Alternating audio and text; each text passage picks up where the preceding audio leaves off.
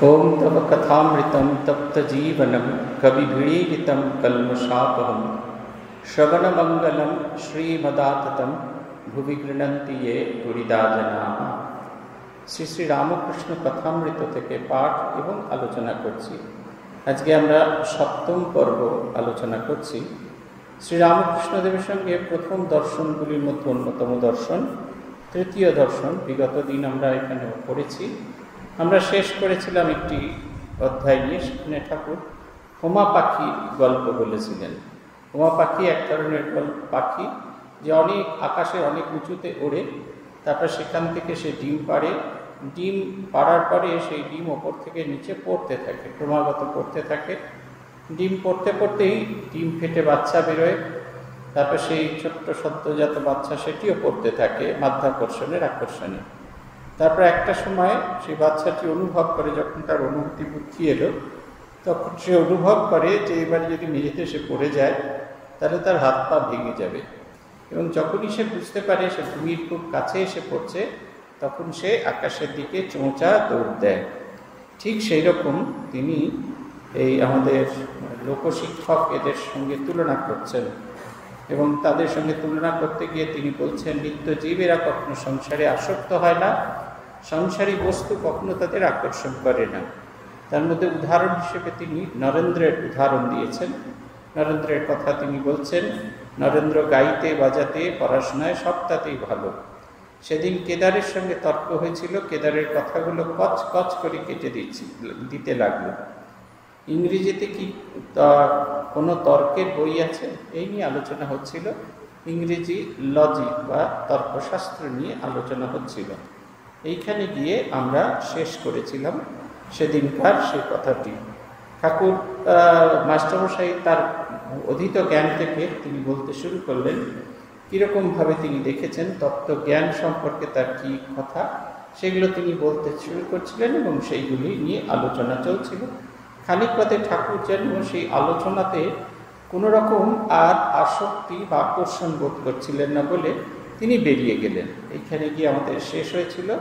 অষ্টম পরিচ্ছেদ শুরু হচ্ছে আজকে গীতার দ্বিতীয় অধ্যায় সাংখ্যযোগ থেকে তিপ্পান্ন নম্বর শ্লোকটির উল্লেখ করা হয়েছে। শ্রুতি বি প্রতিপন্নাতে যদাস্তাস্য সিদ্ধিশ্চলা সমাধা বচলা বুদ্ধি তদা যোগমবাপসি এ বলছেন যখন আমাদের চিত্ত নানা দিকে ধাবিত না হয়ে নিশ্চল এবং ধ্যেয় বস্তুতে স্থির হয় এই দুটি শব্দ ব্যবহার করা হয়েছে এখানে। যদা স্থাস্যতি নিশ্চলা সমাধা ও অচলা দুটি শব্দ নিশ্চলা এবং অচলা নিশ্চলা এবং অচলা দুটি একই, সম্মুখ একই অর্থে ব্যবহৃত হচ্ছে যে যখন আমাদের বুদ্ধি এক জায়গাতে টিকে থাকে, আমরা দেহ বস্তুতেই আমাদের মন টিকে থাকে। আমাদের দেহ বস্তুতে মন টিকে থাকে না কারণ? কারণ শাস্ত্র একরকম কথা বলছে আমরা সেটাকে মান্যতা দেওয়ার চেষ্টা করে থাকি। আমাদের অন্যান্য যে লৌকিক গ্রন্থ, সেগুলো বলছে, সেগুলোকে মান্যতা দেওয়ার চেষ্টা করে থাকি। এই মান্যতা দিতে গিয়ে আমাদের যেটা সবচেয়ে বড় সমস্যা হয়, আমরা কখনোই আমাদের মনকে এক জায়গায় রাখতে পারি না। আমরা যদি আমাদের মনকে এক জায়গায় রাখি, তাহলে আমাদের কোনো সমস্যা হয় না। আজকে পূজনীয় শিবমানন্দজিকে নিয়ে একটা লেখা ফেসবুকে পোস্ট করেছিলাম। একজন দিদিমণি আমাকে লিখেছেন। গল্পটা ছিল এরকম যে, একদিন আমরা দেখলাম যে পূজনীয় মহারাজ তার ঘরের সামনে তার যে সেবক, সে খুব চেঁচিয়ে চেঁচিয়ে লাটু মহারাজের স্মৃতিকথা থেকে পড়ছে, দরজার বাইরে দাঁড়িয়ে। আমি মহারাজের অপোজিট দিকে বিপরীত বারান্দাতে থাকতাম, আমি আস্তে আস্তে দরজাটা খুলে দেখতে চাইলাম কি হচ্ছে। দেখলাম যে মহারাজ বসে বসে যেরকম খবরের কাগজ পড়ছিলেন, সেরকম খবরের কাগজ পড়ছেন। এবং ছেলেটি দরজার বাইরে বইটাকে এমনি করে দাঁড়িয়ে খুব চেঁচিয়ে চেঁচিয়ে লাট্টু মহারাজের স্মৃতিকথা পড়ছে। আপনারা যারা লাট্টু মহারাজের স্মৃতিকথা জানেন, দেখবেন লাট্টু মহারাজের বাংলা, হিন্দি মেশানো বাংলা, সেই নিয়ে সে পড়ছে এবং বেশ কষ্ট হচ্ছে তার করতে গড় করে করতে পারছে না। তা আমরা দেখলাম, দেখে ধীরে ধীরে অফিসে চলে গেলাম। ফিরে আসার সময়, যখন দুপুরে খেয়ে আমরা ফিরে আসছি, প্রসাদ পেয়ে ফিরে আসছি পূজনীয় মানুষের সঙ্গে দেখা হলো। আমরা জিজ্ঞেস করলাম, কি ব্যাপার আজকে পাঠের ব্যবস্থা কী জন্য? তিনি বললেন, ছেলেটি রোজ এসে এত্তার নামে কাজ করতে এসে এত্তার নামে লাগায়। মহারাজ তখন তো অ্যাসিস্ট্যান্ট জেনারেল সেক্রেটারি আর ছেলেদের বিষয়গুলো তিনি দেখতেন। তাকে এই কারণে লাগাতো যাতে তাকে কোনো রকম কান ভারিয়ে সেই ছেলেটাকে কোনোরকম শাস্তি দেওয়া যায়। মহারাজ এটা বুঝতে পেরে প্রথমে বারণ করেছেন, তারপর যখন শোনেননি তখন এই কাজটি দিয়েছেন। ওই জন্য তো শক্তি ক্ষয় করবে, অন্যের কুত দর্শন করে এবং লোকের কুটকা চালিয়ে আলোচনা করবে। তাই এমন যদি শক্তি ক্ষয় করতে হয়, ভালো জিনিসের জন্য শক্তি ক্ষয় করবে, যাতে দৃষ্টির প্রসার হয় এটি। নানা লোকে নানা রকমের কমেন্ট করেছে। একজন মানে তার কমেন্ট আমার ভারী ভালো লেগেছে। তিনি বলছেন মানে এই যে আমাদের, আমরা অল্প জানি, তাতে আমাদের কোনো সমস্যা নেই। কিন্তু এই অল্প জানাটা নিয়ে যখন আমরা নানা রকমের কমেন্ট করতে থাকি, মানুষকে জাজ করতে থাকি, সেটাই ভয়ঙ্কর। বলছেন, মূর্খ ততক্ষণই জ্ঞানী, যতক্ষণ না সে মুখ খুলে না। ততক্ষণই তাকে জ্ঞানী বলে বোধ হয়। তিনি আমাকে একটা পার্সোনাল মেসেজ পাঠিয়েছে আচ্ছা আপনার কি মনে হয়, কেন তিনি স্বামীজির পত্রাবলী না পড়তে দিয়ে লাটু মহারাজের স্মৃতি কথা পড়েছেন একটি কথা থেকে বোঝা যাচ্ছে তিনি পত্রাবলীও কোনোদিন খুলে দেখেননি, তিনি লাটু মহারাজের স্মৃতি কথাও খুলে দেখেন এই দুটো বইয়ের কোনোটাই সে দেখেনি। সেই যে গল্প আছে না, একজন কলকাতায় এসেছিলেন, কলকাতায় এসে গঙ্গার ঘাটি এপাশ ওপাশ ঘোরাফেরা করেছেন। গ্রামে যখন ফিরে গেছেন, তখন গ্রামের লোকেরা সব জিজ্ঞেস করছে, কলকাতা কি দেখলে? মনুমেন্ট দেখলাম, এই দেখলাম, তাই দেখলাম। তাকে জিজ্ঞেস করলেন, রানী রাসমণিকে দেখেছে? তখন রানী রাসমণি খুব পপুলার মানুষ। যে হ্যাঁ তাকে দেখেছি। তিনি কি করছেন? তিনি এই মোটা গঙ্গার পরে বসে বসে এই মোটা গোপে তেল লাগছেন আর খাওয়া খাওয়া চিনি খাচ্ছেন। আসলে গঙ্গার পরে যে সমস্ত যারা তেল মর্দন করেন, কুস্তিওয়ালারা, তাদেরকে তিনি দেখেছেন রানী রাসমণিকে দেখেনি এটা তো তিনি বলতে পারছেন না। তিনি তার কল্পনার রং মিশিয়ে রানী রাসমণি যে পুরুষ না স্ত্রী, সেটাই তিনি বুঝতে পারেননি। এবং সেই কারণে কল্পনার জগৎ নিয়ে এই যে প্রশ্ন প্রশ্ন থেকে একবারে খুব পরিষ্কার বোঝা যাচ্ছে। তিনি পত্রাবলীও পড়েননি লাটু হচ্ছে স্মৃতিকথা পড়েননি। পত্রাবলী অবশ্যই পাঠ পাঠ করার গ্রন্থ। লাটু মহারাজের স্মৃতিকথা একটা অন্যতম গ্রন্থ। শ্রীরামকৃষ্ণের সঙ্গে দীর্ঘদিন লাট্টু মহারাজ থেকেছেন। নিত্যকাল লাট্টু মহারাজকে দেখেছেন। মাস্টারমশাই তো শুধু রবিবার রবিবার গিয়েছেন এবং বিশেষ বিশেষ উৎসবে তিনি বিভিন্ন জায়গায় গিয়েছেন। তার সংকলন কথামৃত। কিন্তু শ্রীরামকৃষ্ণকে দিনের বেলা দেখেছেন, রাত্রিবেলা দেখেছেন। তার সঙ্গে কনভারসেশন করেছেন। লাট্টু মহারাজের মোটা বুদ্ধি নিয়ে তিনি শ্রীরামকৃষ্ণের সঙ্গে তর্ক করেছেন, ঝগড়া করেছেন, আবার তার পায়ে ধরে ক্ষমা চেয়েছেন, তাকে ভালোবেসেছেন। অদ্ভুত অবজারভেশন করার ক্ষমতা। আমাদের যাদের বুদ্ধি আছে, লেখাপড়া শিখেছি, আমাদের বুদ্ধিটা ছড়িয়ে যায়। কিন্তু যাদের এই যে লেখাপড়া বুদ্ধি ছড়িয়ে যাওয়ার কোনো ব্যবস্থা নেই, তাদের ওয়ান পয়েন্টের বুদ্ধি হয়। একদিকে তারা দেখে। ভীষণ রকমের সাপ তাদের দৃষ্টিভঙ্গি হয়। সেই দৃষ্টি দিয়ে তিনি শ্রীরামকৃষ্ণকে দেখেছেন। লাট্টু মহারাজ যেহেতু লেখাপড়া শেখেননি এবং স্বামীজি অনেক লেখাপড়া শেখালো, তাই লাট্টু মহারাজের স্মৃতিকথা কেন পড়তে তাহলে এটা একটা খুব বড় প্রশ্ন। দু নম্বর হচ্ছে তাকে স্বামীজির পত্রাবলী কেন লাট্টু মহারাজের স্মৃতিকথায় শ্রীরামকৃষ্ণের কথা আছে, ব্যক্তি শ্রীরামকৃষ্ণ, কেমন তিনি হাঁটেন, কেমন করে তিনি চলেন। মহারাজ এটি পড়তে দিয়েছিলেন তার দুটো কারণ। একটা হচ্ছে তার ভাষাটা খুব সহজ নয়। বারবার কুটিয়ে কুটিয়ে উইথ অল অ্যাটেনশন তাকে পড়তে হবে। হামি এ বলেছে, হামিও বলেছে, আমরা হামি হামি করে বলি না। আমি বলে বলি। এখন আমরা যেরকম বলি না, তার চেয়ে অন্যরকম কিছু যখন পড়তে হচ্ছে, তখন সব কনসেন্ট্রেশনটা লাগে। একটু আত্মীয়তা হবে না। আর দুই হচ্ছে, শ্রীরামকৃষ্ণকে যত আমরা চিন্তা করব, এই পড়ার মধ্যে দিয়ে যত আমরা তাকে চিন্তা করব, তত আমাদের ভেতরে আমরা মালিন্য রহিত একটা জীবনযাপন করতে পারব। এইটির কথা, এই কারণে তিনি পড়তে বলেছিলেন। এই অদ্ভুত অদ্ভুত সব আমাদের কাছে আসে। এই শ্রুতির প্রতিপন্নাতে ইয়াদাস্তাস্যতি এই যে যখন নানা রকমের, নানা এই করতে হবে, সেই করতে হবে, ওই করতে হবে হ্যাঁ তেরোটা লুচি বানিয়ে দিতে হবে। কেন তেরোটা লুচি? তার কিন্তু আমরা কোনো কারণ খুঁজে পাই না। এই ব্রত করতে গেলে তেরোটা লুচি করতে হবে, এই করতে হবে, তাই করতে হবে। প্রত্যেকটা পেছনে কারণ আছে, আমরা কোনো কারণটাই জানি না। করতে হবে দেখেছি, বাপ ঠাকুমা করছ, তাই আমরাও করছি। তার কারণের পেছনের কারণটা জানি না। অথচ এটা না করা হলে আমাদের ভীষণ রকমের ইয়ে হবে। একই পুরোহিত আমাদের কাজের ছেলেদেরও বিধান দিয়েছে বাবা মারা যাওয়ার সময়। জগন্নাথবাবুর ছেলের জগন্নাথবাবু যখন মারা গেছেন তারও শ্রাদ্ধের সময় বিধান দিয়েছেন। আমি তো দেখলাম একই পুরোহিত, কিন্তু দুটো বিধান দুরকম। বলছেন যে পায়ে, এদেরকে দেখলাম পায়ে জুতো পরা যাবে না। একেবারে এই ভয়ঙ্কর গরমে খালি পায়ে ঘুরতে হবে। আর যখন দিনের বেলা ওই সময় কোথাও বেরোনো যাবে আমি দেখলাম জগন্নাথবাবুর ছেলে এসেছেন, একবারে দিনের বেলা স্টিচ করা শার্ট পরা সমস্ত কিছু। এই আলাদা আলাদা জিনিস।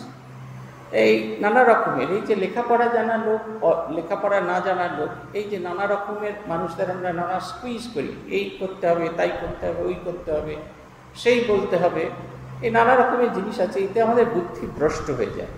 যে মানুষ তার থেকে বুদ্ধিকে সরিয়ে নিয়ে এক লক্ষ্যে এই দুটি জিনিস করে, নিশ্চলা এবং অচলা।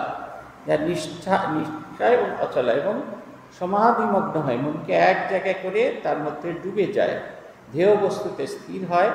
বুদ্ধি তদা যোগমপসি সেই বুদ্ধিকে, তখনকার সেই অবস্থাকে নিশ্চলা বা অচলা বুদ্ধি বলা হচ্ছে। এই যে নানা রকম জিনিসপত্রের জন্য তখনই আমরা সম্যক বুদ্ধি বা যোগাবস্থা প্রাপ্ত হই, যখন আমরা এই বুদ্ধিকে, ছড়িয়ে থাকা বুদ্ধিকে এক জায়গায় আনতে পারি, তারপরে সেটিকে কনসেন্ট্রেট করতে পারি এবং তারপরে সেখানে দাঁড়াতে পারি। খুব সহজ উদাহরণ। আপনারা সকলেই এই উদাহরণগুলি জানেন। সেটা হচ্ছে আপনারা যখন বাড়ি তৈরি করেন দেখবেন, এই যে যে মশলাটা তৈরি করায় নানা জিনিস দেয়, তাতে বালি দেওয়া থাকে, তাতে স্টোন চিপ থাকে তাতে সিমেন্ট থাকে, তাতে জল থাকে। সবটা ঠিক ঠিক পরিমাণ মতো দেওয়া হয়। তারপরে সেটা মেশানো হয়। হয় হাতে মেশানো হচ্ছে, নাহলে মিক্সিং করা হচ্ছে। এই যে নানা জিনিস, দেখুন ছড়িয়ে থাকা, এই ব্যাগ থেকে খানিকটা স্টোন চিপ বার করা হলো, ওই ব্যাগ থেকে খানিকটা বালি বার করা হলো খানিকটা সিমেন্ট বার করা হলো, কল থেকে জল দেওয়া হলো, তারপরে সেটাকে মেশানো হচ্ছে। মেশানোর পরে যখন ইটগুলোর মাঝে মাঝে সেগুলো দিয়ে দিয়ে দিয়ে দিয়ে খাড়া করা হয় সেই ইট একেবারে একেবারে পাথরের দেওয়ালের মতো শক্ত হয়ে দাঁড়িয়ে থাকে। তাকে ভাঙতে গেলে বিশেষ শক্তি প্রয়োগ করতে হয়। ঠিক আমাদের এই যে ছড়িয়ে থাকা মনকে যদি আমরা এক করে নিয়ে দেহ বস্তুতে নিবিষ্ট করি, তাহলে আমাদের মন সমাধিতে যায়। কেন এই এই শ্লোকটির ব্যবহার করা হলো? এই শ্লোকটির ব্যবহার করা হলো মাস্টার সেই একটা একটা করে একটু একটু করে শ্লোকগুলো দিয়ে এই শ্রীরামকৃষ্ণের চরিত্র বর্ণনা করছেন। প্রত্যেকটা শ্লোক, যে প্রথম যে শ্লোকে আছে সংসার অর্ণব ঘোরে ইহ কর্ণ স্বরূপক কর্ণদ্বার ধার নমস্তু রামকৃষ্ণায় তস্মৈ শ্রী একদম প্রথম শ্লোক, যেটি তিনি ব্যবহার করছেন, প্রথম দর্শন পঞ্চম পরিচ্ছেদে আছে। সেইখানে তিনি বলছেন, সংসার অর্ণব ঘোরে। অর্ণব শব্দ হচ্ছে সমুদ্র। এই সংসার রূপ সমুদ্র ঘোর সমুদ্রের ভেতরে ইহ কর্ণধার স্বরূপ। আমার জীবন্তরীর নৌকার যিনি কর্ণধার, সেই শ্রীরামকৃষ্ণকে আমি প্রণাম করি। কীভাবে প্রণাম করি? তস্মৈ শ্রী গুরবে নবম তাকে সেই দিকে যিনি আমাকে দিশা দেখাতে পারবেন। যিনি আমাকে অন্ধকার থেকে আলোর দিকে নিয়ে যেতে পারবেন। শ্রীরামকৃষ্ণের যে নানা চরিত্র, নানাভাবে একটু একটু করে তাকে দেখছেন। এই যত দেখছেন, তত তার এক একটা করে চরিত্র ধরা পড়ছে। আজকেই দেখছিলাম, একজন আমাকে পাঠিয়েছেন। আমাদের যিনি খুব সম্ভবত যিনি স্বরাষ্ট্রমন্ত্রী, আমাদের অমিত শাহজি তার একটা ছবি পাঠিয়েছেন। একেবারে ছোটবেলা থেকে। পরপর পরপর বদল হচ্ছে। বাচ্চা ছেলে মাথা ভর্তি চুল, মোটা গো আরেকটু বড় হয়েছে গালভর্তি ধারি চুল কমতে আরম্ভ করছে, তার টাক করেছে তারপরে তিনি আস্তে আস্তে আস্তে তার বদল হচ্ছে এখনকার চেহারা। এই যে একটু একটু একটু করে বদল হচ্ছে, তিনি যত শ্রীরামকৃষ্ণকে দর্শন করছেন, তার ধারণাটা পরিষ্কার হয়ে যাচ্ছে এবং তত তিনি গভীরভাবে তাকে দেখতে পাচ্ছেন। শ্রীরামকৃষ্ণকে দর্শন করলে এই রকম বোধ আমাদের জাগে। সভা ভঙ্গ হইল। ভক্তেরা এদিক ওদিক পায়চারি করিতেছেন, মাস্টারও পঞ্চবটি ইত্যাদি স্থানে বেড়াইতেছেন। বেলা আন্দাজ পাঁচটা। কিয়ৎক্ষণ পরে তিনিও শ্রীরাম, তিনি শ্রীরামকৃষ্ণের ঘরের দিকে আসিয়া দেখিলেন, ঘরের উত্তরের দিকে ছোট বারান্দার মধ্যে অদ্ভুত ব্যাপার হইতেছে। শ্রীরামকৃষ্ণ স্থির হইয়া দাঁড়াইয়াছেন, নরেন্দ্র গান করিতেছেন, দুই চারিজন ভক্ত দাঁড়াইয়া আছেন। মাস্টার আসিয়া গান শুনিতেছেন। গান শুনিয়া আকৃষ্ট হইয়া দিলেন ঠাকুরের গান ছাড়া এমন মধুর গান তিনি কখনো কোথাও শুনেন নাই। ঠাকুর হঠাৎ ঠাকুরের দিকে দৃষ্টিপাত করিয়া অবাক হইয়া রইলেন। ঠাকুর দাঁড়াইয়া নিষ্পন্দ। চক্ষুর পাতা পড়িতেছে না নিঃশ্বাস প্রশ্বাস বহিছে কি না বহিছে, জিজ্ঞাসা করাতে একজন ভক্ত বলিলেন, এর নাম সমাধি। মাস্টার এরূপ কখনো দেখেন নাই, শুনেন নাই। অবাক হইয়া তিনি ভাবিতেছেন, ভগবানকে চিন্তা করিয়া মানুষ কি এত বাহ্যক জ্ঞান শূন্য হয়? না জানি কতদূর বিশ্বাস ভক্তি থাকলে এই রূপ হয়। এই যে বলছিলেন না খানিক্ষণ বলছেন, এই যখন আমরা মনকে এক জায়গায় করি আমরা শ্রুতিবিদ প্রতিপন্নাতে যদা স্থাস্যতি নিশ্চলা, সমাধি বচলা, বুদ্ধি তদা যোগম অবাপসি কোন অবস্থায় ঘনীভূত হলে যে সিমেন্ট ঘনীভূত হয়ে গেছে? কীরকম ঘনীভূত, কীরকম হয়? এটা একটা অদ্ভুত নিদর্শন। যারা কখনো বাড়ি করা দেখেনি, তারা খুব অবাক বিস্ময় দেখতে থাকে। ইটগুলো আলাদা ছিল, তার মধ্যে একটা কি মশলা দেওয়া হলো, তারপরে সেটাকে জুড়ে দেওয়া হলো। আবার একটু মশলা দেও, তার উপর ইট বসানো হলো, আবার তার উপর খানিকটা মশলা দিয়ে আবার ইট বসানো হলো। এরকমভাবে তারা গেঁথেই চলেছে গেঁথেই চলেছে, শূন্যের ভেতরে গেঁথে চলেছে। কিন্তু যখন গাঁথা শেষ হয়ে গেল, রোজ জল টল দিয়ে কিছুদিন বাদে দেখা যাচ্ছে, যেটা শূন্যের মধ্যে গাঁথা হলো, সেটা একটা শক্ত ঘরের মতো, একটা আবরণ, একটা যেন কিছু আলাদা। বাইরের পৃথিবী আর ভেতরের পৃথিবীর মাঝখানে একটা অন্তরায় হয়ে দাঁড়িয়েছে। দুটোকে আলাদা করতে পারছে, এত ক্ষমতা রাখে, ঠিক সেই রকম মানুষ যখন সমাধিতে চলে যায়, তখন এই জগতের কোনো কিছু তাকে স্পর্শ করে না। আপনারা তো অনেকেই সমাধি বলতে, শ্রীরামকৃষ্ণের সমাধি বলতে, ওই কেশব শ্বেতচন্দ্র সেনের বাড়িতে হাত তুলে দাঁড়িয়ে থাকা ছবিটির সবসময় বলেন। আমরা যে সিনেমা টিভিতে দেখি, সেখানেও সমাধি মানে ঠাকুর ওরকম হাত তুলে আছেন। দেখুন, সমাধির একটি কি অপূর্ব ছবি। ঠাকুর দাঁড়াইয়া নিষ্পন্দ হাত টাত তোলানি শান্ত হয়ে, নিষ্পন্দ হয়ে দাঁড়িয়েছেন। তার এতটুকু শরীরের ভেতরে কোথাও যেন স্পন্দন নেই, জীবনের কোথাও প্রকাশ নেই। চক্ষু চোখের পাতা পড়িতেছে না যে আমাদের চোখের পাতা পড়ে, সেটা বন্ধ হয়ে গেছে, স্থির হয়ে গেছে। নিঃশ্বাস প্রশ্বাস বইছে কি না বইছে। জীবনের যে স্পন্দন যে আমরা দেখতে পাই, এই শ্বাস উঠছে, শ্বাস নামছে, এও বোঝা যাচ্ছে না। আর জিজ্ঞাসা করাতে একজন বললেন, এর নাম সমাধি। মাস্টারমশাই এই জিনিস কখনো আগে দেখেননি। ঈশ্বর চিন্তায় মানুষের এই জগৎ ভুল হয়ে যাওয়া, এইটার কথা কোনোদিন তিনি শোনেননি। মাস্টারমশাই শুনছেন, নরেন্দ্র গান গাইছেন। ঠাকুরের চেয়েও, ঠাকুরের মতো এত ভালো গান এর তিনি এর আগে কখনো শোনেননি। এটা শ্রীমা সারদা দেবীও সার্টিফাই করেছেন যে ঠাকুরের গান শোনার পরে আর কারুর গান শুনতে ইচ্ছে করে না। একমাত্র নরেন্দ্রের গান তিনি শুনেছেন। বলছেন, কি পঞ্চমী না গলা ছিল? মানে খুব হাই স্কেলে তিনি গাইতেন, অপূর্ব তার কণ্ঠস্বর। আমাদের বেলুর মঠের আর্কাইভসে স্বামীজির গলা আছে, যদিও সেটা পাবলিকলি ডিসপ্লে করা হয় না, শোনানো হয় না। কিন্তু যারা শুনেছেন, তাদের কাছে আমি জিজ্ঞাসা করছি, তারা বলেছিলেন অপূর্ব। আমাদের সাধারণ কণ্ঠস্বরের যে ভাবনা, সেটা সম্পূর্ণ চলে যাবে।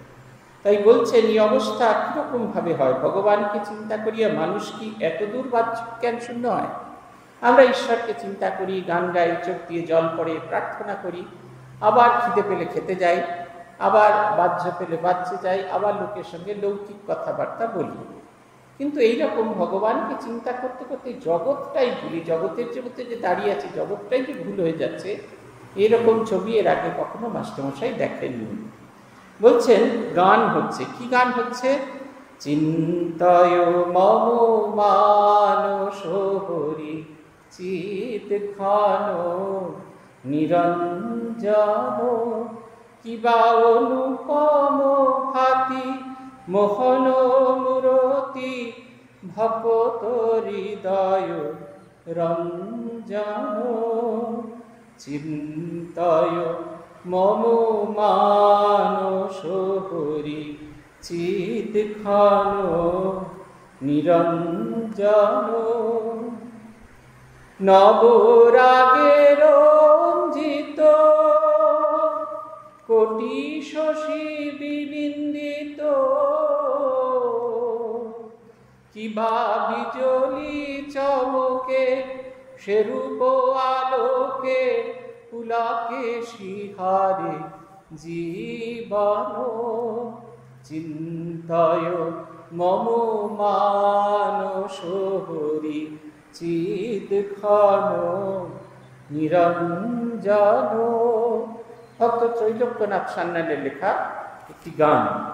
এই গানটির থেকে দিয়ে ব্যাখ্যা করছেন মাস্টারমশাই। বলছেন, গানের এই চরণ গাহিবার সময় শ্রীরামকৃষ্ণকে শিহরিত, শ্রীরামকৃষ্ণ শিহরিত লাগিলেন দেহ রোমাঞ্চিত, চক্ষু হইতে আনন্দ আশ্রু বিগলিত হইছেন। মাঝে মাঝে যেন কি দেখিয়া হাসিতেছেন, না জানি কোটি শশী বিনিন্দিত কি অনুপম রূপ দর্শন করিতেছেন। এরই নাম কি ভগবানের চিন্ময় রূপ দর্শন? কত সাধন করলে, কত তপস্যার ফলে, কতখানি ভক্তি বিশ্বাসের ফলে এরূপ ঈশ্বর দর্শন হয়। এই যে ঈশ্বর দর্শনের কথা বলছেন বলছেন, চিন্তায় মম মানস হরি, চিৎ ঘন নিরঞ্জন। সেই ঘনীভূত চিতস্বরূপ, যিনি নিরঞ্জন, অঞ্জন শব্দের অর্থ হচ্ছে কাজল, কালি।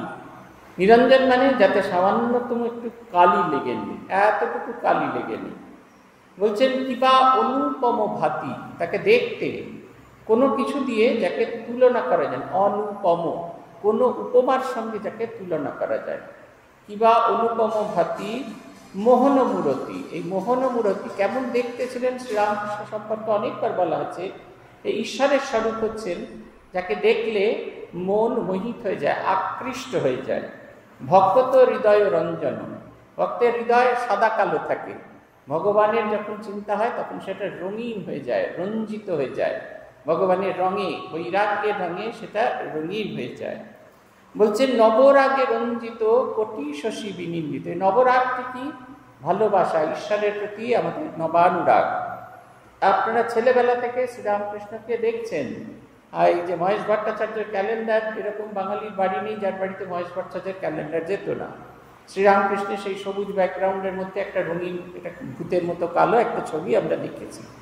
কিন্তু যখন আমাদের দীক্ষা হলো, যখন বেলুর মঠ গেলাম তখন শ্রীরামকৃষ্ণের মূর্তি দেখে নিজের মনে একটা নতুন কল্পনা হওয়া শুরু হলো। আর যখন আমরা তাকে হৃদয়ের ভেতরে দর্শন করা শুরু করলাম, আমার আপনার মতো যখন তাকে দেখতে শুরু করলাম, তখন আমাদের দেখার ছবিটা অন্য হয়ে গেল।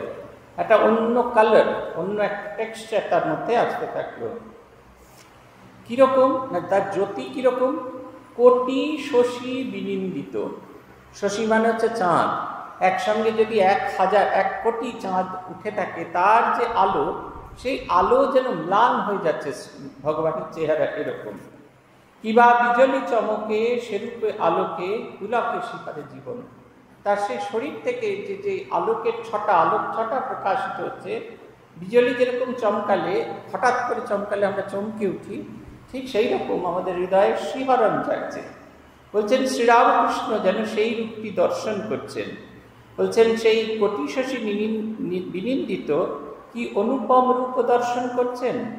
বলছেন, এরই নাম কি ভগবানের চিন্ময় রূপ দর্শন? আমরা মৃন্ময়, প্রস্তরীময়, কাগজময়, এ তারপরে দারুময় নানা রূপ দর্শন করি। কিন্তু সেই রূপ যখন আমাদের হৃদয়ে গিয়ে চিন্ময় রূপ প্রাপ্ত হয় তখন সেটা অন্যরকমভাবে আমরা দর্শন করি। এই এটাকে কি ঈশ্বর দর্শন বলে? গান চলছে, নরেন্দ্র গাইছেন, হৃদি কমলাসনে ভজ তার শ্রীচরণ, দেখো শান্ত মনে, প্রেম নয়নে অপরূপ প্রিয় দর্শন। আবার সেই ভুবন মোহন হাসি, শরীর সেই নিষ্পন্দ, স্তিমিত লোচন, তিনি কি, কিন্তু কি যেন অপরূপ রূপ দর্শন করিতেছেন, আর সেই অপরূপ রূপ দর্শন করিয়া যেন মহানন্দে ভাসছেন। কোথায় তাকে দেখতে হয়? হৃদি কমলাসনে হৃদপদ্মে তাকে দর্শন করতে হয়। ভজ তার শ্রীচরণ তার শ্রীপাদপদ্ম ওইখানে বসিয়ে অর্চনা করতে হয়। কেমনভাবে দেখতে হয়? শান্ত মনে। সমস্ত বাইরের সমস্ত ইয়েকে ঠান্ডা করে শান্ত হয়ে এক মনে তাকে দেখতে হয়। প্রেম নয়নে ভালোবাসার চোখ দিয়ে তাকে দেখতে হয়। অপরূপ প্রিয় দর্শন, সেই অপরূপ প্রিয় দর্শন মূর্তিকে দর্শন করতে হয়। নরেন্দ্র গান গাইছেন আর চলছেন। চিদানন্দ রসে ভক্তি যোগাবে সে, হরে চির মগন এই গান চলতে আরম্ভ করেছে, গাইছেন তিনি।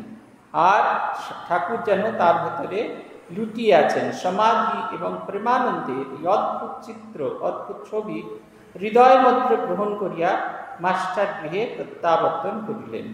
মাঝে মাঝে হৃদয়ের মধ্যে সেই হৃদয় মত্তকারী মধুর সংগীত ফুট উঠতে লাগল। প্রেমানন্দ রসে হওবে চিরমগ্ন। হরিপ্রেমে মত্ত হয়ে। মাস্টারমশাই ফিরে গেলেন বাড়িতে। কিন্তু সঙ্গে করে নিয়ে যাচ্ছেন সেই অপরূপ ছবিটি। শ্রীরামকৃষ্ণ নরেন্দ্র গাইছেন যে তিনি চিন্ময় চিন্তয় মম মানুষ হরি সেই গান গাইছেন। আর শ্রীরামকৃষ্ণ যেন সেই যা গাওয়া হচ্ছে সেটা যেন দেখছেন।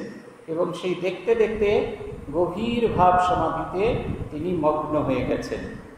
নবম পরিচ্ছেদ, এই পরিচ্ছেদ শুরু হচ্ছে গীতার ষষ্ঠ অধ্যায় ধ্যানযোগে বাইশ নম্বর শ্লোক দিয়ে সেখানে ভগবান বলছেন ইমলব্ধ্যা চাপরম লাভম মন্যতে নাধিকম ততঃ ইয়স্মিন স্থিত ন দুঃখে ন গুরু নাপি বিচাল্যতে ভগবানকে পেলে আমাদের কি হয় বলছেন ভগবানকে প্রাপ্তি তো কোনো ওরকম হাতের মোয়া নয় যে গেলাম ভান্ডারি মাছকে গিয়ে বললাম পুজোয় নাড়ু হয়েছে, ভান্ডারি মাছ চারটে নাড়ু আমার হাতে দিয়ে দিলেন, ব্যাস আমি নিয়ে রওনা দিয়ে তা তো নয়, ভগবত প্রাপ্তি এরকম কোনো বস্তু নয়। যে অবস্থা প্রাপ্ত হলে, যে অবস্থা প্রাপ্ত হলে যোগী কি করে? ইয়ম লাভম চা, ইয়ম লব্ধা চাপরম লাভম ন অধিকম তত। তার চেয়ে বেশি আনন্দদায়ক আর কিছু নেই।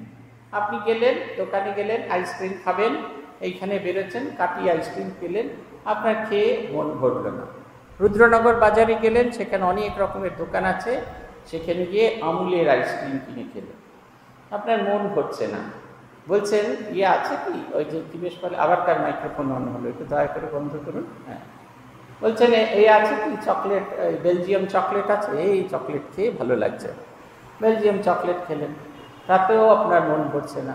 তারপরে আপনি গেলেন ঘাটের কাছে গেলেন, সেখানে গিয়ে কোয়ালিটির আইসক্রিম খেলেন। তাতেও আপনার মন ভরছে না। এপার থেকে ওপারে গিয়েছেন, গাড়ি করে গিয়ে জেমস লং সরণতে গিয়ে সেখানে বাস্কিন রবিন্সের দোকানে গিয়ে বেলজিয়াম চকলেট খেতে একবারে মন মোহিত হয়ে গেছে। বলছেন, যে অবস্থা প্রাপ্ত হলে যোগী ইয়ম চাপরম লাভম মন্যতে নাধিকম তত এর চেয়ে আর ভালো অবস্থা হতে পারে, এই বোধটা সম্পূর্ণ হয়ে যায়। আপনি কুড়ে ঘর বানিয়েছিলেন, তারপরে একটু বড় বাড়ি বানিয়েছিলেন, তারপরে আরেকটু বড় বানিয়েছিলেন। তারপরে এর চেয়ে বড় বাড়ি আপনার প্রয়োজন নেই তাই আপনার খুব ভালো, আপনার মনের শান্তি ওখানে থেমে গেছেন যে অবস্থায় প্রাপ্ত হলে আর আমাদের অন্য কিছু পাপ প্রাপ্ত হয় না। ইয়াসমিন স্থিত না দুঃখে না, গুরু নাপি বিচলিয়াতে। সে অবস্থায় প্রতিষ্ঠিত হলে মহা দুঃখ তাকে বিচলিত করতে পারে না। তিনি সম্ভব যোগাবস্থা লাভ করেন। যে অবস্থা প্রাপ্ত হলে আমাদের আর অন্য কোনো রকম অবস্থার প্রয়োজন আর কিচ্ছু প্রয়োজন নেই, সেই অবস্থাটা এইটা। গীতার ষষ্ঠ অধ্যায়, এটি ধ্যান যোগ, সেখানকার বাইশ নম্বর শ্লোকে বলা আছে। তাহার পরদিনও ছুটি ছিল। বেলা তিনটের সময় মাস্টারমশাই আবার আসিয়া উপস্থিত। আগের দিন তো এসেছেন শ্রীরামকৃষ্ণ বলেছেন, সেই ময়ূরের গল্প বলেছেন, আফিং, একটা ময়ূরকে আফিং, নির্দিষ্ট সময় আফিং খাওয়া দেওয়া হতো। তারপরে সে ময়ূর প্রত্যেক দিন ওই সময় আফিং খেতে আসতো তার এমন একটা নেশা ধরে গেছিল। ঠাকুর মাস্টারমশাইরও সেরকম নেশা ধরে গেছে। পরদিন ছুটি আছেন, অন্য কোথাও যাওয়ার চেয়ে তিনি টুকটুক করে তিনটের সময় আবার এসে উপস্থিত।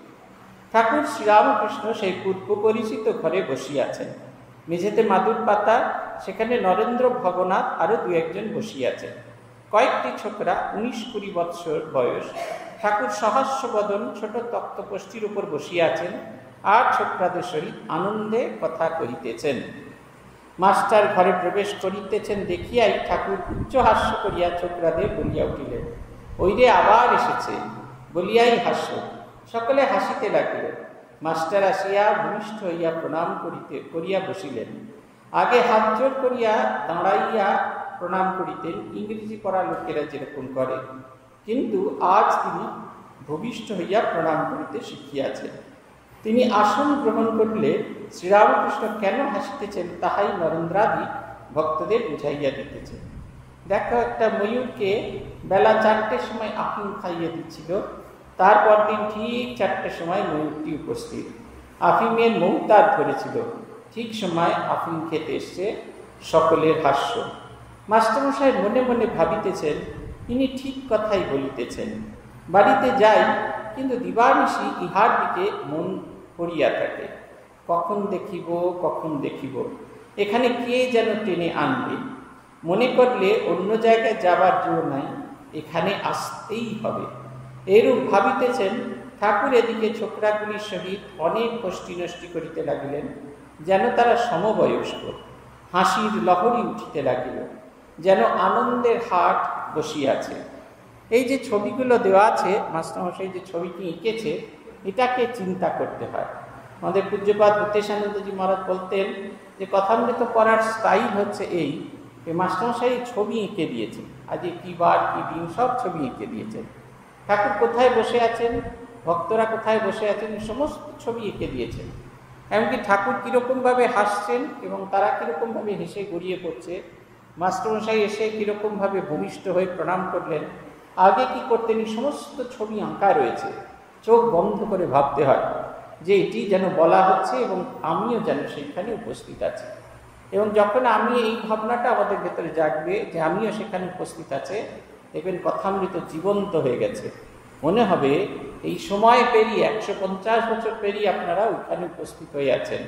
আঠারোশো বিরাশি সালের ওইখানে আপনি বসে আছেন। বলছেন, মাস্টার মনে মনে ভাবিতেছিলেন, এই যে শ্রীরামকৃষ্ণের ভগবানের ক্ষমতা তিনি আকর্ষণ করেন, এটা হচ্ছে সবচেয়ে বড় ক্ষমতা। মাস্টার মনে মনে ভাবিতেছেন, ইনি ঠিক কথাই বলিতেছেন। বাড়িতে যাই, কিন্তু দিবানিশি ইহার দিকে মন করিয়া থাকে, কখন দেখিব, কখন দেখব, এটা আপনাদেরও হয়। আপনারা দেখবেন বুঝতে পারেন না, কিন্তু এই ভাবটা আপনাদেরও হয়। আপনারা যখন এই রাস্তা দিয়ে, বড় রাস্তার দিকে যেতে যান, আমাদের ডান দিকে মনসা মন্দির আছে। আপনি অসার এরকম করে হাতটা আপনার উঠে যায়, গিয়ে প্রণাম করেন, বেরিয়ে যান। তাকে দর্শন করেছেন। তিনি যে আছেন, এটা আপনার মনের ভেতরে একটা স্ট্রাইক করেছে, সেটাকে আপনি অ্যাকনলেজ করছেন। এটা যখন গভীর, ভাবটা যখন গভীর হতে থাকে, তখন আপনি সেখানে না গিয়ে পারেন না। নরেন্দ্রনাথ দিনের পর দিন আসছেন, শ্রীরামকৃষ্ণ তার সঙ্গে এক কথাও বলছেন। নরেন্দ্রনাথ রোজ যেমন আসেন, তেমনি আসছেন, আবার ফিরে যাচ্ছেন। একদিন ঠাকুর জিজ্ঞাসা করছেন আচ্ছা আমি তো তোর সঙ্গে কথা বলি না, তোর সঙ্গে তো কোনো আমার কিছু তাহলে তুই কেন আসিস? তিনি বলছেন, আমার ভালো লাগে, তাই আসি। এই যে ভালো লাগাটা কীরকম, এইটা আমরা বলে উঠতে পারব না।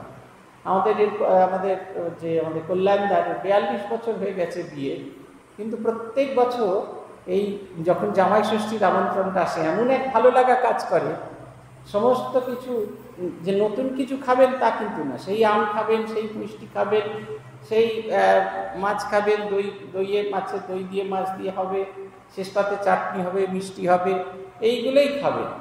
কিন্তু সে এমন একটা আকর্ষণ, এই আকর্ষণটাকে ছাপিয়ে যেতে পারা যায় না। বলছেন মাস্টারমশাই অবাক হইয়া এই অদ্ভুত চরিত্র দেখিতেছেন, ভাবিতেছেন, ইহার, ইহারই কি পূর্বদিনে সমাধি ও অদৃষ্টপূর্ব প্রেমানন্দ দেখিয়াছিলাম? সেই ব্যক্তি কি আজ প্রাকৃত লোকের ন্যায় ব্যবহার করিতেছেন? ইনি কি আমায় প্রথম দিনে উপদেশ দিবার সময় তিরস্কার করিয়াছিলেন? ইনি কি আমায় তুমি কি জ্ঞানী বলিয়াছিলেন ইনি কি সাকার, নিরাকার দুই সত্য বলিয়াছিলেন? ইনি কি আমায় বলিয়াছিলেন যে ঈশ্বর সত্য আর সংসারের সমস্তই অনিত্য? ইনি কি আমায় সংসারের দাসী মতো থাকতে বলেছিলেন? মাস্টারমশাই একবারে পারপ্লেক্সড অবস্থা। এই কি সেই লোক? আগের দিন যাকে দেখছিলাম গভীর সমাধিতে মগ্ন, এই বাইরের জগৎ কিছু কিছুতেই তাকে স্পর্শ করছে না। কোনোভাবে তাকে ছুতে পারছে না। কিছুতেই তাকে ছুতে, আজকে তাকে দেখছে একটা স্বাভাবিকের মতো। এইটা হচ্ছে শ্রীরামকৃষ্ণ জীবনের বৈশিষ্ট্য, যেটা আমাদের শ্রীরামকৃষ্ণের কাছ থেকে শিখতে হবে। আমরা সবসময় একটা পারপ্লেক্স কন্ডিশনের মধ্যে থাকি। যখন আমরা জব ধ্যান করি, তখন ভাবি পরের কাজটা কখন করব। আর যখন সেই পরের কাজটা করি, তখন সেইটা করতে করতে ভাবি, আহা, কি সুন্দর জব ধ্যান করছিলাম। কেন সেটা ছেড়ে এসে এই সংসারের কাজ করতে থাকলাম? শ্রীরামকৃষ্ণ একদম ডেফিনেটলি দেখাচ্ছেন, যখন যে কাজটা করব, তার ভেতরে আমাদের ডুবে থাকতে হবে। যখন তিনি সমাধিস্থ, তখন সমাধিস্থ, জগৎ তিনি ভুলে গেছেন। জগৎটা তার কাছে করে মিথ্যা বলে প্রতিপন্ন হচ্ছে। কোনোভাবে এই জগৎ ছুঁয়ে যাচ্ছে না। যে আমরা ইতিহাস ক্লাস করছি, অনলাইনে ইতিহাস ক্লাস করছি। ইতিহাস ক্লাস করতে করতে দেখছি, ক্যামেরাটা ঠিক মতো আমাকে দেখতে, দেখাতে পারছে কিনা। হ্যাঁ আমার কথাগুলো ঠিক ঠিক হচ্ছে কিনা।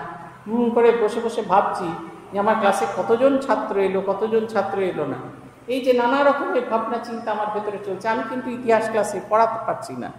আমি কিন্তু পড়ানো ভুলে গেছি। আমি মুখস্থ আছে, জানি বলে ফটফট ফটফট বলছি, সিপাহী এই হলো, তাই হলো, ওই হলো, সেই হলো। তাহলে ঝড়ের পেকে বলতে পারছি তাই am not confident whether I can convey my message to others আমি যেটা বলছি, সেটা অন্যকে বলতে পারছি কিনা। এইখানে হচ্ছে আমাদের সঙ্গে শ্রীরামকৃষ্ণের একটা বেসিক ফারাক। তিনি কারোর দিকে তাকাচ্ছেন না। এই জগতে তিনি যে গভীর ভাব সমাধিতে মগ্ন হয়ে যাচ্ছেন, এটা যে কাউকে প্রভাবিত করতে পারে বা করছে, এটা নিয়ে তার সামান্যতম মাথা ব্যথা নেই। তিনি গভীর সমাধিতে মগ্ন, ডুবে গেছেন। তিনি উপাধিরহিত হয়ে সাধন ভজন করছেন। সূত্র খুলে দিয়েছেন, কাপড় খুলে দিয়েছেন। তিনি ব্রাহ্মণ, সে বোধটা তার সরিয়ে দিয়েছেন।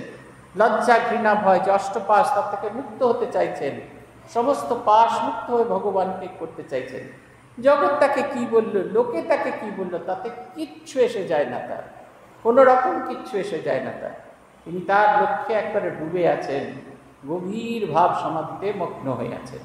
না, আমরা ইতিহাস ক্লাস করাচ্ছি, বারবার দেখছি, আয়নাতে ক্যামেরাটা দেখছি, আমার মুখের এদিকটা আলো করছে কিনা, এদিকে ঘামটা হয়েছিল একটু টিস্যু পেপার দিয়ে মুছে দেওয়া যায় কিনা। আমি কিন্তু সেই ইয়েতে, সিপাহী বিদ্রোহ থেকে অনেক দূরে চলে এসেছি। আমি এই বিদ্রোহতে, এই আত্মবিদ্রোহের সামনে দাঁড়িয়ে সিপাহী বিদ্রোহ ভুলে গেছি। সিপাহী বিদ্রোহ দ্বিতীয় হয়ে গেছে, আত্মবিদ্রোহ, আত্মবিদ্রোহটা আগে এগিয়ে গেছে। শ্রীরামকৃষ্ণকে দেখে তাই মাস্টার, এরম লোক তো তিনি দেখেননি। গভীর ভাব সমাধিতে তিনি মগ্ন। আবার আজকে দেখছেন ছোকরাদের সঙ্গে গল্প করছেন, যেন তিনি তাদের সমবয়সী।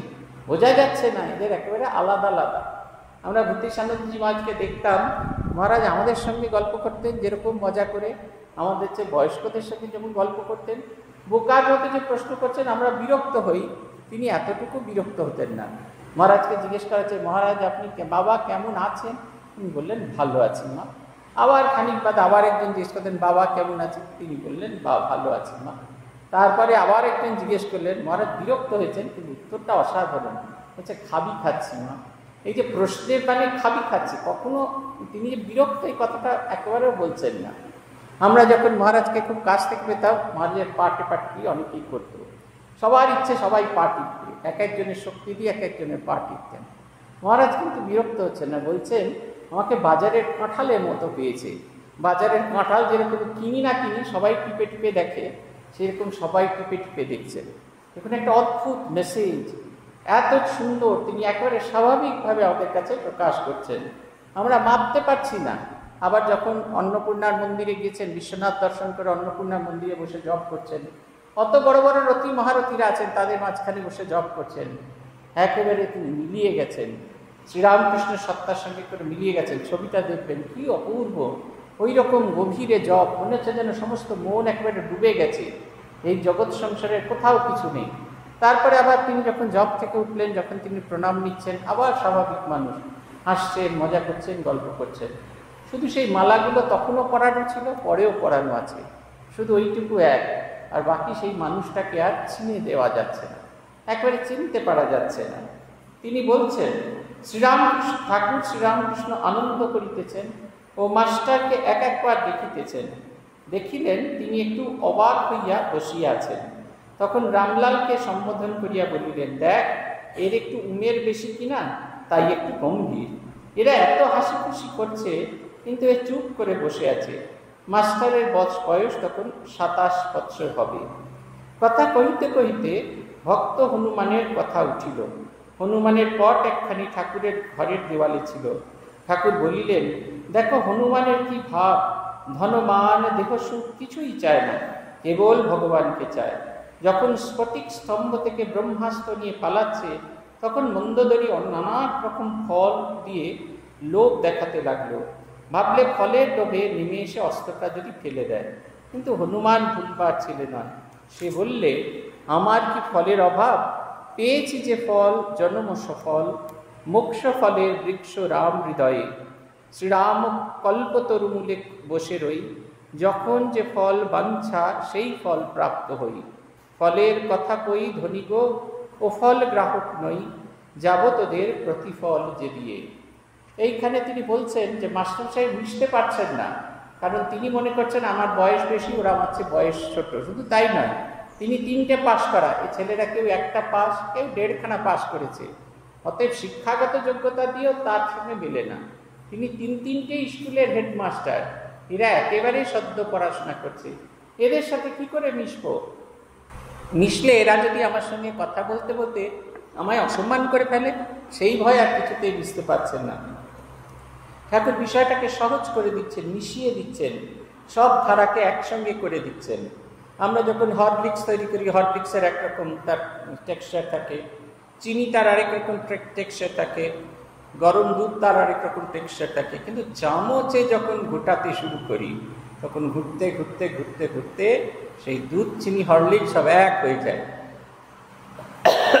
তখন তার একটাই নাম, সেটা হচ্ছে পুষ্টিবর্ধক খান। এনার্জি ড্রিঙ্ক এনার্জি ড্রিঙ্ক তার নাম।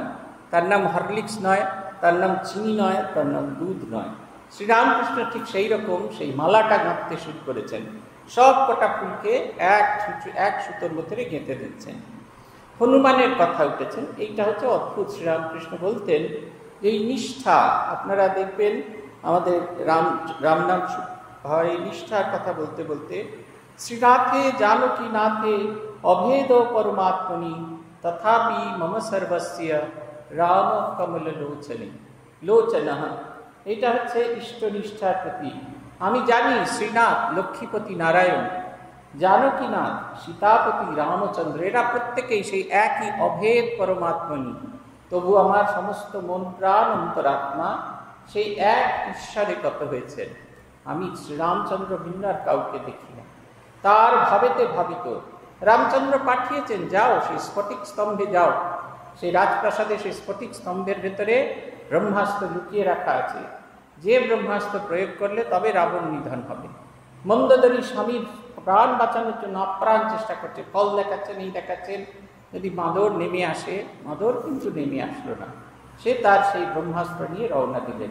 যাবার সময় গাইতে গাইতে একটি যাচ্ছেন। এই গানটি খুব ইম্পর্টেন্ট জানেন তো? এই গানের উল্লেখ আরেক জায়গায় আছে। কেশবচন্দ্র সেন, শ্রীরামকৃষ্ণ গিয়েছেন কেশবচন্দ্র সেনের সঙ্গে দেখা করতে। তারপরে কেশবচন্দ্র সেন নানা জনের কাছে শুনেছেন শ্রীরামকৃষ্ণের কথা। শ্রীরামকৃষ্ণ কেমন? এটা জানার জন্য তিনি তোনার দু তিনজন শিষ্যকে পাঠালেন। তারা এসে দক্ষিণেশ্বরে থেকে শ্রীরামকৃষ্ণকে দেখছেন।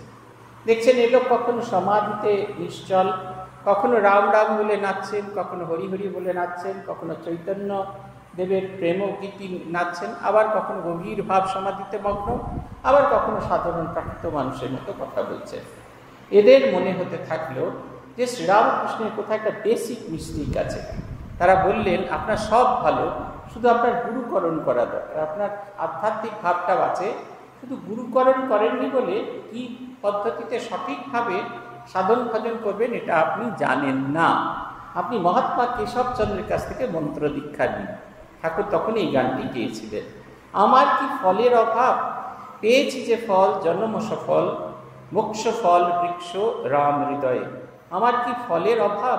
আমি সেই শ্রীরাম কল্পতরু মূলে থাকি। কল্পতরু বৃক্ষ যে যা চায় সেই ফল দান করে। বলছেন আমি রামরূপ শ্রীরাম রূপ সেই কল্পতরু মূলের তলায় বাস করি।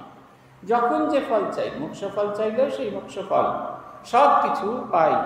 বলছেন কল্পতরু মূলে কল্পতরু মূলে বসে রই। যখন সে ফল বাঞ্ছা, সেই ফল প্রাপ্ত হই। যখন যা দরকার, তখনই সেটা আমার যখন যেটা মনে হয়, আমি তখন সেটাই পাই। বলছেন, ফলের কথা কই ধরি গো? ফল গ্রাহক নই। যাব তোদের প্রতিফল যে দিয়ে তোমরা এই লৌকিক ফল দেখাচ্ছ, জাগতিক আকর্ষণ দেখাচ্ছ? বলছো, এই জাগতিক আকর্ষণে তোমরা আমাকে আকৃষ্ট করবে। আমারও দরকার নিচে বেশি উচ্চতম আদর্শ আমি পেয়েছি। তাই এই ছোটোখাটো ফলেতে আমার কোনো প্রয়োজন নেই। বরং উল্টে আমি যে ফল দিয়ে যাব, আমি যে আনন্দ তোমাদের দিয়ে যাব, যে আনন্দ আমি পেয়েছি আনন্দ তোমাদের সঙ্গে ভাগ করে দিয়ে যাব, সেই পেয়ে তোমরা ধন্য হবে। পদ্মবিনোদ, মাতাল পদ্মবিনোদ, সে এসেছে।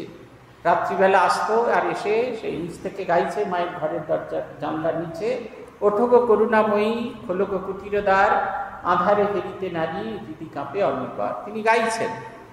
শারদানন্দজি বলে দিয়েছেন, কেউ দরজা জানলা খুলবে না, মায়ের ঘুমের ব্যাঘাত করবে মা শুয়েছিলেন, তারপরে মা আর পারলেন না। আস্তে আস্তে মা উঠে জানলাটি খুলে দিলেন। হাট করে জানলা খোলা হলো। অমন লজ্জাশীলা মা দাঁড়িয়ে পড়লেন পদ্মবিনোদ তাকে দেখলেন, বললেন, উঠেছ মা, উঠেছ, তাহলে এই ভক্তের প্রণাম নাও।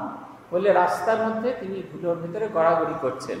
তারপরে তিনি গাইতে গাইতে গায়ে যাচ্ছেন। যতনে হৃদয়ে রেখো আদরিণী শ্যামা মাকে, মন তুই দেখ আর আমি দেখি, দোস্ত যেন নাহি দেখে। দোস্ত হচ্ছেন শারদানন্দজি। এই যে আনন্দ, জগন্মাতাকে দর্শন করে আমার যে আনন্দ হয়েছে, এই আনন্দটা আমি হৃদয়ে বুকে নিয়ে যেতে চাইছি। এটা আমি কারুর সঙ্গে ভাগ করতে চাইছি না। তিনি বলছেন, এই যে শ্রীরামকৃষ্ণ বলছেন, যে এই গানটি যে গাইছেন, তাতে বলছেন, কালী কল্প রাম কল্প তরুমূলে থাকি, যখন যে ফল চাই, তখন সে ফল পায় আর আমার এই লৌকিক ফলের কোনো প্রয়োজন নেই। তোমার যদি দরকার হয়, তোমাকে আমি কিছু ফল দিয়ে যেতে পারব। ঠাকুর সেই গান গাহিতেছেন আবার সেই সমাধি। আবার নিষ্পন্দ দেহ স্থিমিত লোচন, দেহ স্থির। বসিয়ে আছেন, ফটোগ্রাফে যেরূপ ছবি দেখে, দেখা যায়। ভক্তেরা এই মাত্র এত হাসি খুশি করিতেছিল, এখন সকলেই এক দৃষ্টি হইয়া ঠাকুরের সেই অদ্ভুত অবস্থা নিরীক্ষণ করছেন। সমাধি অবস্থা মাস্টার এই দ্বিতীয়বার দর্শন করলেন। অনেকক্ষণ পরে এই অবস্থার পরিবর্তন হলো।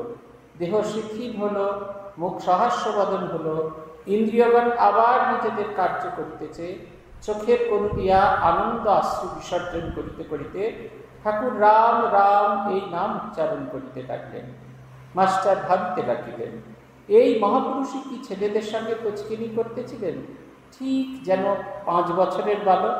ঠাকুর পূর্ববৎ প্রকৃতিস্থ হইয়া আবার প্রাকৃত লোকের ন্যায় ব্যবহার করিতেছেন। মাস্টার ও নরেন্দ্রকে সম্বোধন করিয়া বলবেন তোমরা দুজনে ইংরাজিতে কথা কাও, বিচার করো, আমি শুনব। মাস্টার ও নরেন্দ্র উভয় ওই কথা শুনিয়া হাসিতেছেন। দুজনেই কিছু কিছু আলাপ করিতেছেন, কিন্তু বাংলাতে। ঠাকুরের সামনে মাস্টারের বিচার করা বিচার আর সম্ভব নয়। তাহার তর্কের ধর, ঘর ঠাকুরের কৃপায় একরকম বন্ধ। আর কিরূপে তর্ক বিচার করিবেন? ঠাকুর আর একবার জিত করিলেন, কিন্তু ইংরাজিতে তর্ক করা হলো না। দেখুন, তিনি মজা করছিলেন, গভীর ভাব সমাধিতে বদ্ধ হয়েছেন, আবার তার থেকে সাধারণ অবস্থায় ফিরে আসছেন।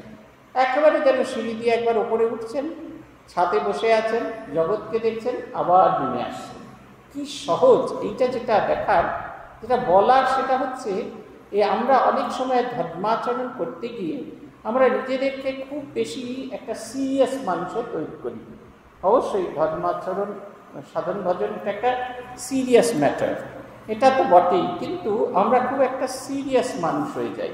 এই সিরিয়াস মানুষ হতে গিয়ে আমরা যে আমাদের যে স্বাভাবিক সত্তা, সেটা হারিয়ে ফেলি। ধর্মাচরণ হচ্ছে স্বাভাবিক, নিঃশ্বাস প্রশ্বাস নেবার সময়, যেরকম আমরা ভাবি না। আমার যখন একবার নাক কাটা হয়েছিল, চব্বিশ ঘণ্টা নাকটা বন্ধ ছিল। যখন বিকেলবেলা পরের দিন বিকেলে খুলে দিল, এই প্লাগটা টেনে খুলে দিল ঝরঝর করে রক্ত পড়ছে, কিন্তু তার সঙ্গে কী আরাম? নিজের নাক দিয়ে শ্বাস প্রশ্বাস নিতে পারছে তখনও যে আমি শ্বাস প্রশ্বাস নিচ্ছি, এই বোধ হচ্ছে। কিন্তু আস্তে আস্তে সেই বোধটা এমন চলে গেল, এখন যে যে আমরা শ্বাস প্রশ্বাস নিচ্ছি, এইটা কিন্তু আর কোনোভাবেই আমাদের ছুঁয়ে যায় না। ঠিক সেই রকম শ্রীরামকৃষ্ণ দেখাচ্ছেন, এই সমাধিভূমিতে তিনি পৌঁছে গেছেন। আবার সেখান থেকে নেমে এলেন সমাধি সুখ অনুভব করে নেমে এলেন। আবার সাধারণ মানুষের মতো কথা বলছেন। মাস্টারমশাইকে বলছেন, তুমি আর নরেন্দ্র ইংরেজিতে তর্ক করো, আমি দেখব। মাস্টারমশাইরা তর্ক করার সম্ভব নয়। কোনো মতামত প্রকাশ করতে পারছে না। তার তার তর্কের দরজাটা একেবারে তিনি, ঘর তিনি একদম বন্ধ করে দিয়েছেন। বলছেন যে, ঠাকুরের কৃপায় তর্কের ঘর একেবারে বন্ধ। আর তিনি শুধুমাত্র এর এক অদ্ভুত এক শরণাগতির ভাব আসতে আরম্ভ করেছেন। তিনি যেন তার কাছে ছোট ছেলের মতো একটু একটু করে নিজেকে উৎসর্গ করছেন, নিজেকে যেন একদম ডুবিয়ে দিচ্ছেন তার ভাবেতে। আর এই ভাবেতে ডুবতে ডুবতে সেদিনকার পর্ব শেষ হচ্ছে। শ্রী ভগবানের কৃপা হলে আবার আমরা পরের দিন এই নিয়ে আলোচনা করব। ওম নিরঞ্জনম নিত্যম অনন্তরূপম ভক্তানুকম্পাধৃত বিগ্রহম বৈ। ईशावतारम परमेशमित्यम तद रामकृष्णम सिरसा नमामि।